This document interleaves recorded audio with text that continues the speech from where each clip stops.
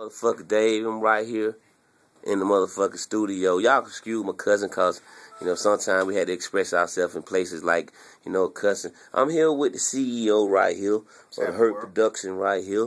And I was asking Hurt, how did you first start doing mixes and, you know, messing with music, dude? You know what I'm saying?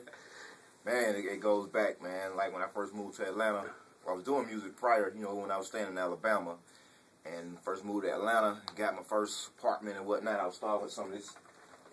Actually, a cat at work gave me this. Said it didn't work. Oh, look I said, at "Let me this. What, hey, what that shit? If you want to explain Um, what that shit can you explain to the track Tascam. a four track cat Tascam? Yeah, And player.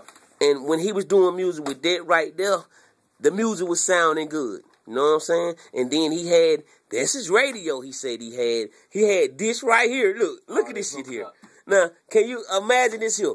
Anytime you come in the studio and you got a person like the CEO right here, you see that right there? What you hear? You hear around there? You know, we we doing big things. You know what I'm saying? From this right here, this right here, CEO right here, Freddie?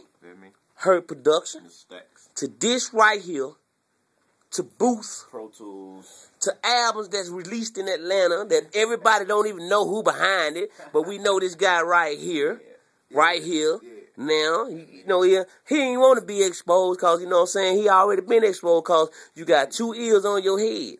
and if you listen to music, you already heard his song two times if you heard it one time. Mm. Because God gave us two ears so we can hear anything somebody say once, twice. And y'all don't know that it is true, but it is. So he gave us one mouth to say it one time and two ears to hear it twice. But look, y'all stay tuned to some of that Hurt production, man. Look me up. Hurt production in there, Facebook, like that. I said, my name, you know what I'm saying? Super D on the Thanks, mic, You know what I'm saying? Yeah, got it. We got a new thing coming on. Single, man. Y'all look out Yeah, for that. No believe job by it. Super Dave, man. Believe it, it's coming out. It's gonna be crazy for y'all cats, you know what I'm saying? But Hurt, man, I like to thank you, man, for uh, taking a little time out, man, for doing your music, man, and you know, and just explaining to folks how good music is. We real music people, see. Right. It's a difference between a person just I want to go in there and start to sing. This man been playing music since tapes and shit like that. You know what I'm saying? So believe it. So if you if you hear some of his stuff.